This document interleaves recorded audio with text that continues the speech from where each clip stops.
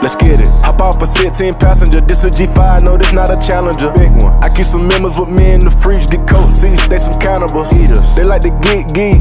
Drink a whole bottle, wake up and repeat. Damn. She took a look, mixed it with the chill out. Now she say she said 3D. Wow. I go in the jungle and they got a code. I